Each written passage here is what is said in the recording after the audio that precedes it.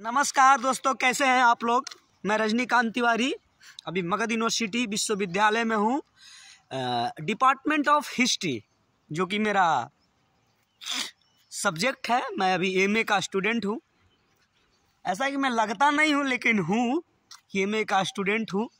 और ये देखिए यही वो डिपार्टमेंट है हिस्ट्री डिपार्टमेंट जहाँ पे हम लोग 2020 में एडमिशन करवाए थे।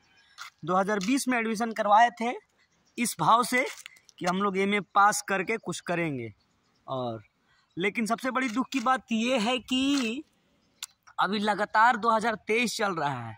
एक साल हो गए, फार्म भरा गया है, लेकिन हम लोग का एग्ज़ाम नहीं हो रहा है। और कब होगा वो भी पता नहीं है।